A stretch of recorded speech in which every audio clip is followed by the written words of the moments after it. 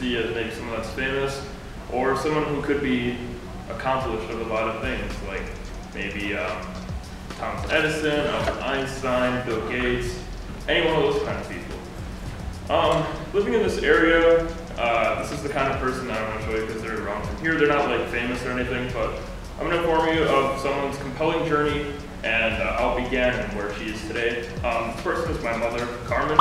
Um, my mom started off, um, that I know of with background of this story, we started off in Mishicot. Um, we made our way over to Two Rivers, and uh, she's quite a different area than where she was when we started off. Um, when we started off in Mishicot, I don't remember much of that, like what she did, so I'm not going to really uh, branch off that. But in Two Rivers, when I was younger, um, I'd say maybe I was around seven or eight at the time.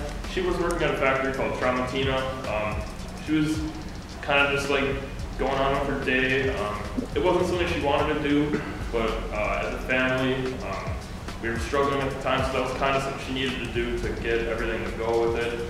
Um, like I said, I don't really remember much of it because I was kind of young, and uh, all I remember about this situation was during Christmas Eve one night, we were all kind of just huddling around the, the floor, like presents and stuff, and she comes home and she says, um, yeah, we had an incident at work today, and we're kind of like, what's going on? Because she was kind of panicked, but it wasn't really a panic that you would think like, oh my god, we need to call somebody. It was more of like a, a panic in a situation that you would see something that you wouldn't normally see in a day.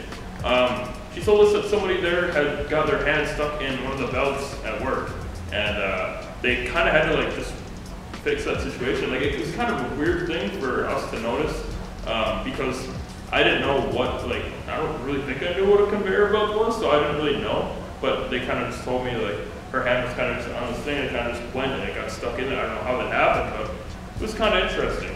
But um, I wasn't a very smart child. I'm gonna say that, so it kind of hurt her in a little bit because she had to deal with me.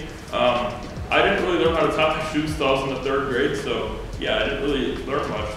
But uh, other than that, like with me, my mom went through some hardships in life.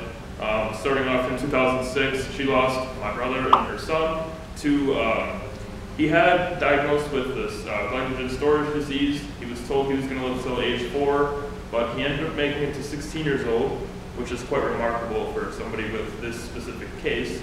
And uh, shortly after, in 2008, her mother passed away, which was an extremely heartbreaking time for her because she didn't know how she was going to handle losing her son and then losing her mother with that. Um, but thankfully, everybody was there, like me and my brothers. Uh, my oldest brother was there in town at the time.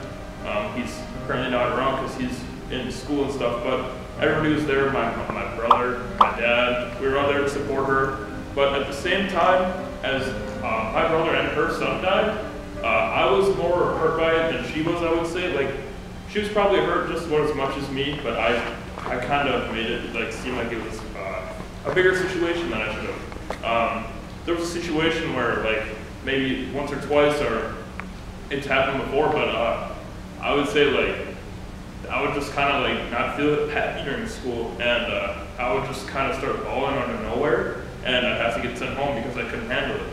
But my mom, she worked her ass off, and she went to work every single day. She did what she had to do, and she had to get past it in order for herself to succeed.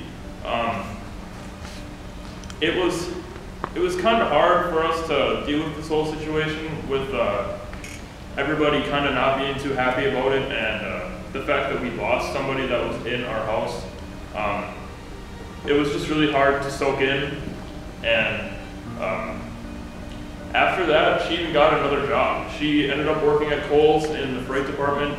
Um, and that wasn't something that she actually liked doing, but it was something that she did because she had to. She could, she had to keep working. She couldn't stop because she knew that she had to be there to support us at all times.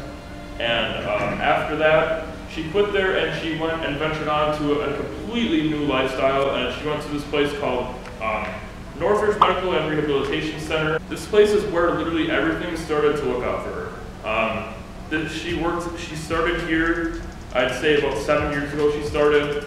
She started off as a dietary aide in the kitchen department, and um, that's where she's been this whole time.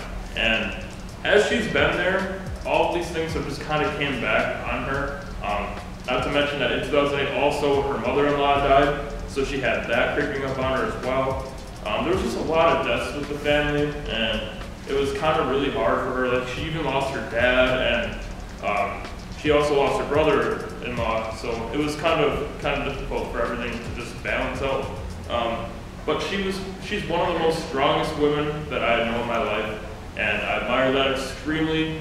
Um, my mother is currently 55 years old, and I'm 18, and I know a lot of people that are around my age that I went to school with, or maybe that I just kind of see like on social media or something that will say, oh, I hate my job, I'm so tired of working all the time, this is kind of ridiculous. Well, my mom being 55 years old, obviously she doesn't have the best bones or the best joints like as us younger people have. Um, every Wednesdays, she's, now she, I forgot to say this earlier, but with this job, she ended up becoming the manager in this kitchen department, and she's been doing that for six years, and with this job, um, they have state come through and kind of inspect the kitchen to see how it's running. And uh, she ended up getting a perfect, perfect survey every single time that she's been there for a manager, so I'd say it's about five years. And um, that's pretty impressive because something like that's hard to do. Um, I've been in that kitchen before, and that kitchen is really kind of complex to clean and get through everything. Like they went behind all the machines, they cleaned everything, went in the ice machine, got everything clean in there. It's kind of just a big mess, but she made it work.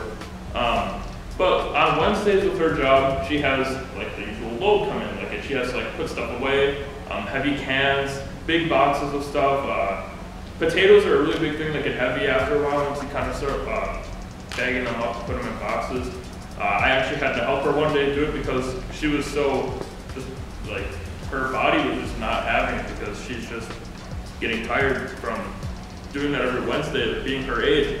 But with this, um, it just kind of shows that someone who can go through hardships such as losing so many family members and still having to deal with other things like work and her family at the same time, uh, it, it's just incredible to me. Um, I, I honestly don't believe that I'd ever be able to do something like that, only because I know what kind of person I am. I'm lazy as hell, and I, I really just, I don't know, sometimes just motivation just isn't there. But um, when she was, she was starting this job, she had to take online college courses. Actually, she decided to. Um, and by doing that, she was at home. My brother and I kind of had to bother her with that, but she made it through it, and that's kind of just what happened. But um, that sometimes she'd also have to stay later to show that uh, because people would show up, and I just think that shows dedication.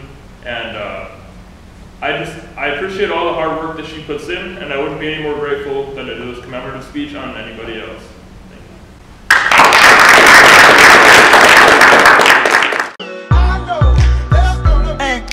Running up all the money